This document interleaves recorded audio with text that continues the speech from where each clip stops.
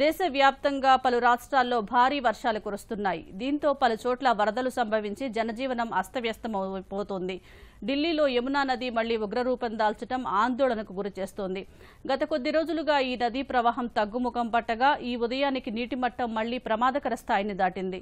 ఢిల్లీలో ఎడతెరిపి లేకుండా కురుస్తున్న వర్షాలతో యమున ఉప్పొంగుతోందని అధికారులు చెబుతున్నారు. కేంద్ర జల కమిషన్ సమాచారం ప్రకారం ఈ ఉదయం ఎనిమిది గంటల సమయానికి ఢిల్లీ పాత రైల్వే వంతెన వద్ద యమునా నది నీటి మట్టం ప్రమాదకర స్థాయిని దాటి రెండు వందల ఐదు పాయింట్ నాలుగు ఎనిమిది మీటర్లుగా నమోదైంది. ఈ సాయంత్రానికి ఇది రెండు వందల ఐదు పాయింట్ ఏడు రెండు మీటర్లను చేరే అవకాశం ఉందని అధికారులు అంచనా వేస్తున్నారు.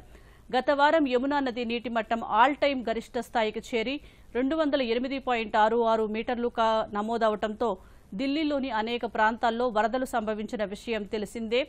మరోవైపు ఉత్తరాదిలోని పలు రాష్ట్రాల్లో మళ్ళీ భారీ వర్షాలు ముంపు పొంచి ఉంది. జూలై ఇరవై రెండు వరకు ఉత్తరాఖండ్ హిమాచల్ ప్రదేశ్లోని కొన్ని ప్రాంతాల్లో భారీ నుంచి అతి భారీ వర్షాలు కురిసే అవకాశం ఉందని వాతావరణ శాఖ అధికారులు అంచనా వేశారు.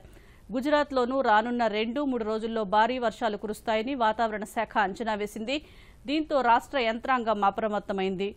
గిర్ సోమనాథ్ కచ్ నవసరి వల్సాద్ అమ్రేలీ రాజ్కోట్ జిల్లాల్లో ఎన్డీఆర్ఎఫ్ బలగాలను రంగంలోకి దింపింది పలు జిల్లాలకు ఆరెంజ్ అలర్ట్ జారీ చేసింది.